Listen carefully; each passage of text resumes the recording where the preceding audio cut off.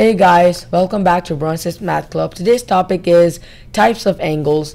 So our first angle is the acute angle. The acute angle is an angle that measures exactly less than 90 degrees. So it cannot measure 90 degrees, it measures less than 90 degrees. Okay, so the angle, angle's measurement has to measure less than 90 degrees. Okay.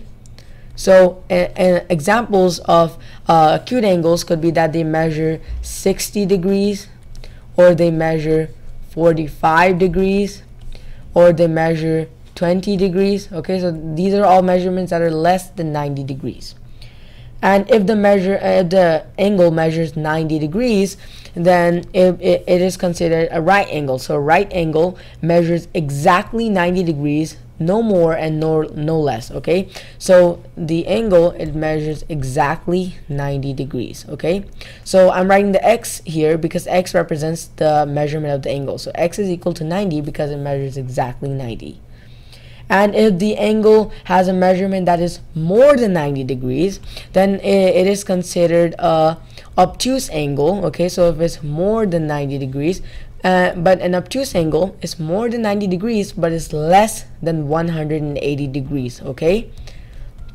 So an example of an obtuse angle could it be that it measures um, 99 degrees or if it measures 100 degrees or maybe even 120 degrees okay so these are all measurements that could work for obtuse angles and then we have the straight angle. The straight angle measures exactly 180 degrees. Okay, so no more and no less. So a straight angle measures exactly 180. So x is equal to 180 degrees. Okay, so 180 degrees.